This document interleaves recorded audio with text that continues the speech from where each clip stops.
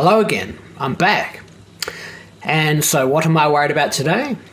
Well, I recently had this strange mental episode where I got all obsessed and focused on my breathing.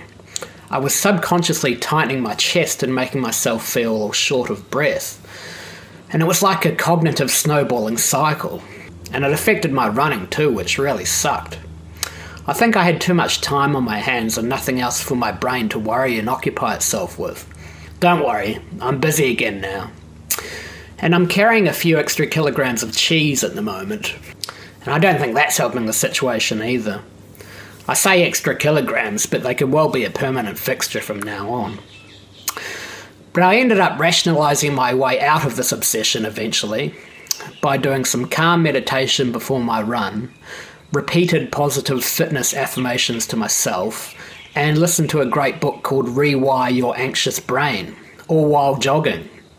And I ended up having a nice long run, and I feel much better now.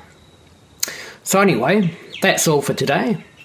And again, it's goodbye from me, and it's goodbye from my mind.